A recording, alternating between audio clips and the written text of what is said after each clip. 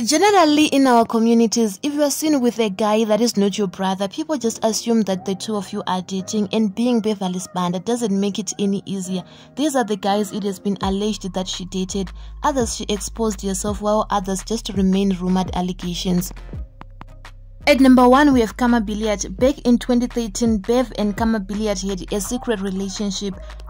It is reported that Kama Billiard used to pick up Bev after her shows using a friend's car, and this was further cemented by the fact that at one time Bev akaisa profile picture ya Kama Billiard akabva status yange yakanyorwa kunzi zvamunoona nemwana uyu takambodanana but Khama Billiat never confirmed any of these rumors. What further fortifies these allegations is the fact that back in 2020 when Beverly's HIV status was under discussion, Bev commented on Facebook stating that Kanadai either HIV positive, Khama Billiat wouldn't still be playing soccer until today. At number 2, we have Andy Muridzo. Back in 2016, Andy Muridzo and Beverly had a secret relationship, which later on was exposed by Bev when she went to the H Metro and told the newspaper that she was two months pregnant by Andy Muridzo's child. This revelation was made in January 2017, and Andy Muridzo did confirm that yes, the two of them had had an affair, but things had ended between the two, so he couldn't possibly be the father of that child. You Andy Muridzo ndiani? Nokufute panyaya dzinoro kuti inonobvisa group. Uri venyu yakadaro. At number 3, we have Prophet Walter Magaya. This one is based entirely on allegations and even Earbev Wacho in a Facebook live denied ever having anything to do with Prophet Magaya. That is romantic. ndati ndingokuudzayo kuti blambi yamagaya handitoizivi The thing with Bev is she is a subject of interest to a lot of men. So when the prophet converted her into one of his congregants, many people suspected that he had hidden motives towards her. Some of these allegations were fueled by people who were jealous that the prophet had converted Bev and even opened a business for her.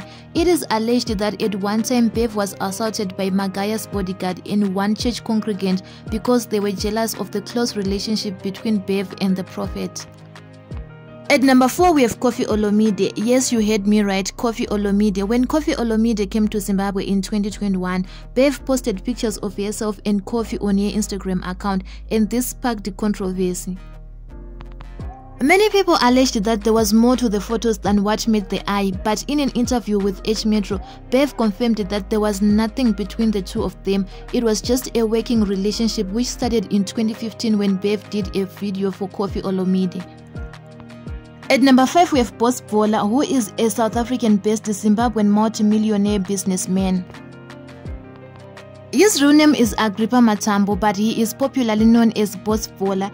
Allegations that he was dating Beverly Sibanda came out after photos of them were leaked onto the internet. This one is quite funny because number one, Boss Bvola was very furious that the photos had been leaked onto the internet. Secondly, it was his girlfriend who showed him the link to the article that alleged that he was dating Bev. It was even reported that Boss Bvola had promised to pay Lobola for Bev, but this turned out not to be true as Boss Bvola drove all the way from South Africa and came to Harare to do an interview with H Metro and clear his name. At number 6 we have Robert Jr. Allegations that there was something going on between Robert and Bev emerged after photos of them together were uploaded on the internet. Neither Bev or Robert Jr. commented on these rumors, so they remain just allegations. But given the reputation that Robert Jr. had developed for himself in Sentim, people just assumed that there could be something going on between the two of them. At number 7 we have George Chigova. During the time when George Chigova was the goalkeeper for Dynamos, it was reported that he was dating Bev.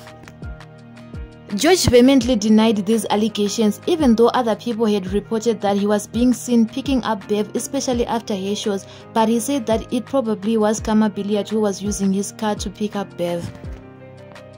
At number 8 we have Mfudzi Chambuka. This is one guy akambobigwa nemunhu wese Zimbabwe because he managed to marry Bev.